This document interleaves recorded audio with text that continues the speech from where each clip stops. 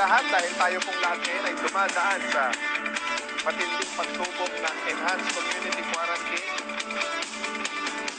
Happy Mother's Day po.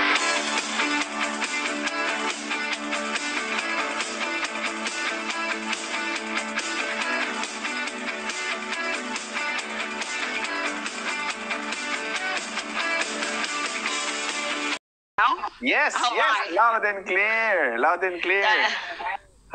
That's good.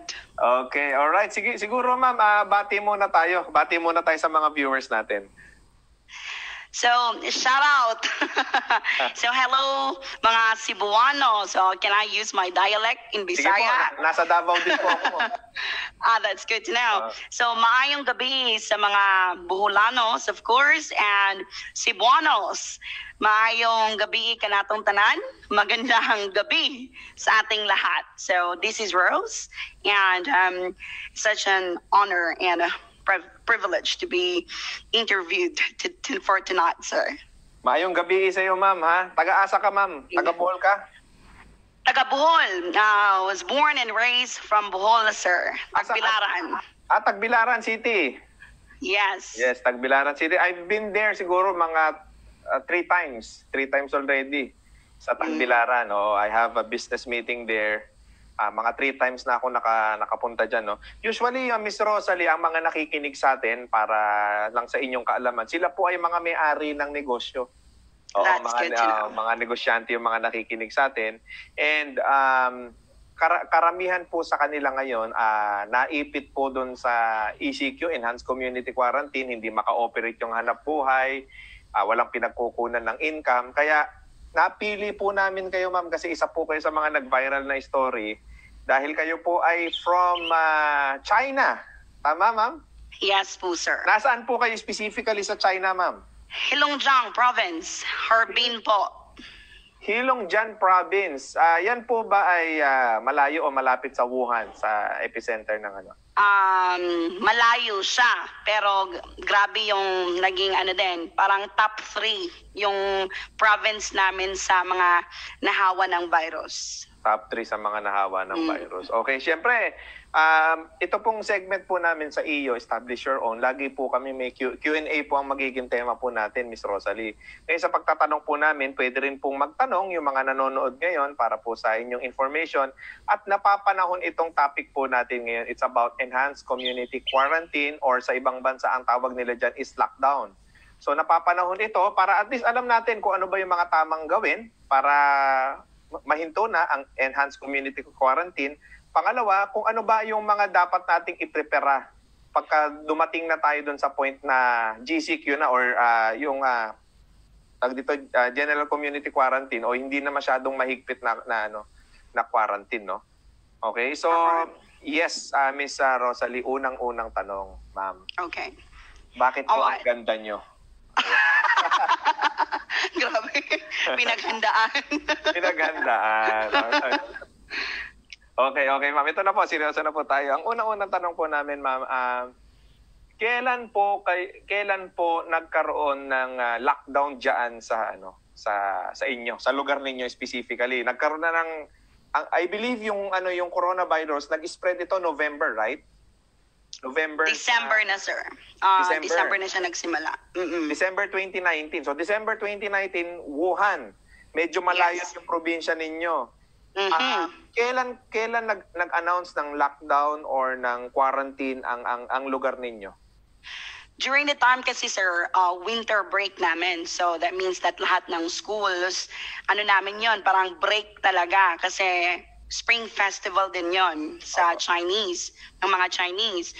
So fortunately, yung iba, um, of course, yung walang pasok. So technically, hindi masyadong ano, wala kaming trabaho.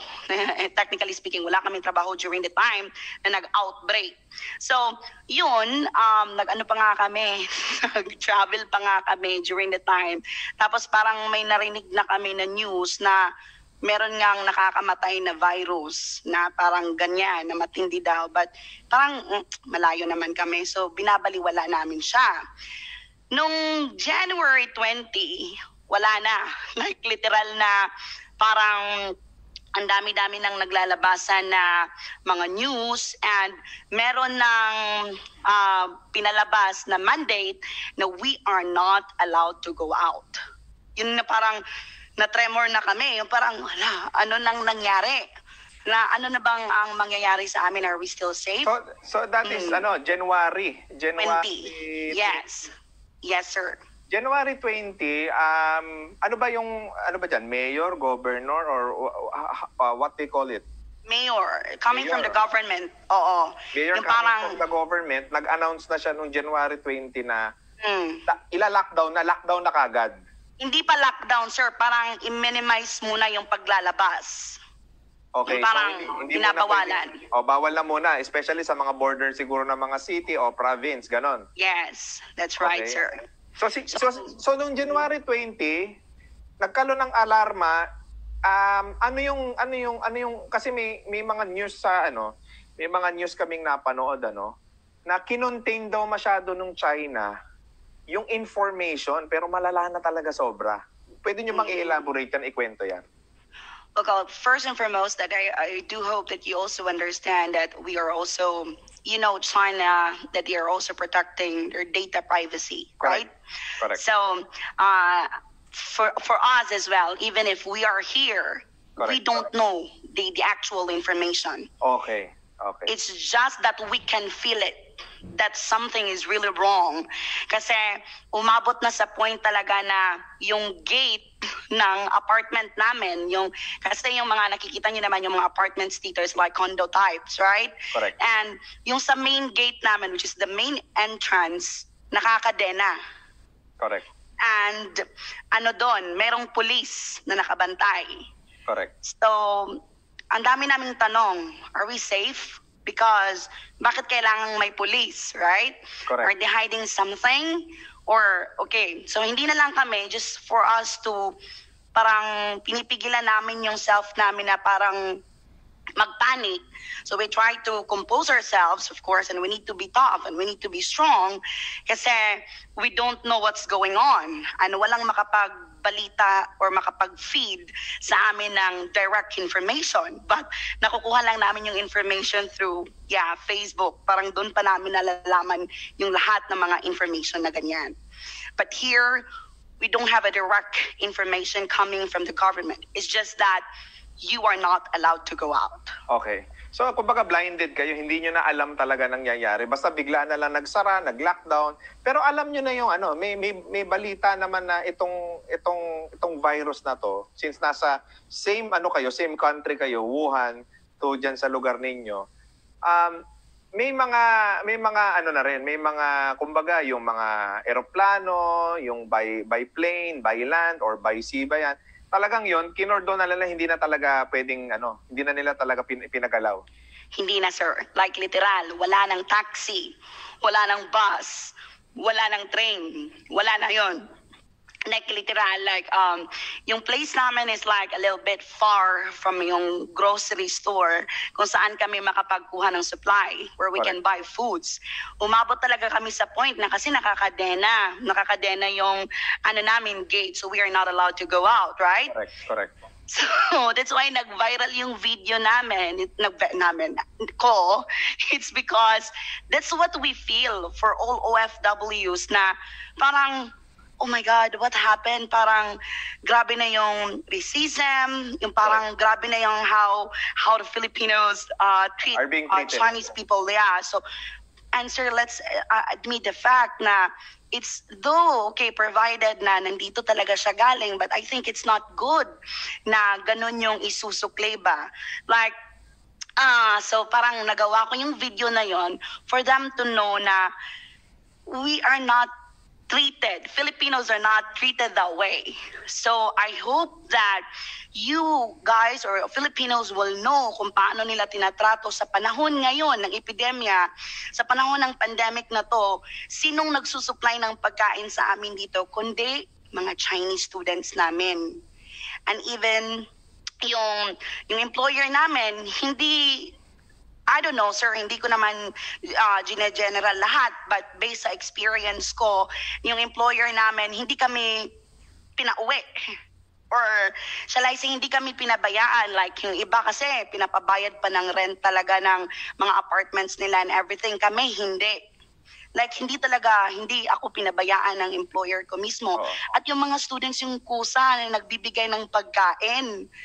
And, oh my God, and na naririnig ko na ginaganyan sila sa Pilipinas, parang hindi naman yata tama yon. Correct. I need to say Correct. something about it. So you are very well treated dyan ng mga local Chinese, no? So ganun sila. Kumbaga, Yes. ang, ang connotation kasi, ang connotation kasi pagka dating dito ng mga Chinese eh parang sila ay parang hindi masyadong tinatanggap ng mga tao dito, sila ay ah, tinitignan as nandidiri sila kasi galing nga yung virus sa ano eh, sa China eh. Pero diyan sa lugar ninyo at ah, yung mga tao diyan, talagang tinulungan kayo. Tama, sir. Tinutulungan So, kayo. Yeah, sorry to say this, but in, in my province, sa lugar ko mismo, mas na-feel ko yung suporta ng Chinese kaysa government sa galing sa Pilipinas. Okay, So, na- mm Correct. So naramdaman nyo talaga yun na kayo ay Yes. kumbaga ang ang treatment sa inyo diyan hindi wala silang hi- hindi siya ano, hindi siya hindi ang mga Chinese hindi sila racist. no. Kahit anong lahi mo, nandyan ka, kami nagpapasweldo sa iyo, nasa amin ka. Nangyari tong virus na to, nangyari tong lockdown na to, hindi ka namin pababayaan, naalagaan ka namin, ganun sila. Yes, sir. Ayun, At no? hindi lang ako. May mga kasamaan pa akong Pilipino dito and they're also treated the same way. Correct. So, ayun, ah, God bless sa inyo, ma'am, no? Talagang pinagpala kayo, no? Dahil ganun nga yung, ah, yung na, kumbaga naging treatment sa inyo na, kami kasi dito, usually, hindi naman lahat, ano? Pero marami kasing mga Pilipino na, ano eh, na masyado bang, alam mo yun, masyadong, hindi nila tinatrato ng tama eh. 'Di ba Yung, especially mga foreigner dito, na pag nakakita sila ng Chinese, medyo pinandidirihan nila, eh, So pinapalis foul. nila. 'di ba? So, yun, magandang information yung nasabi niyan sa amin na ang mga Chinese dyan sa pikikilalagyan nyo, base sa na-experience ninyo at na-experience ng mga kasama nyo, talagang you are very well treated. Yes, sir. Okay, so very good. So ma'am, January 20 tayo, balik tayo January 20. So nung January 20, nakaramdam na ng konting tension, nagkaroon na ng mga pinadlock na yung mga mga yung apartment ninyo, yung condominium ninyo, lahat na nagkakaroon na ng ano.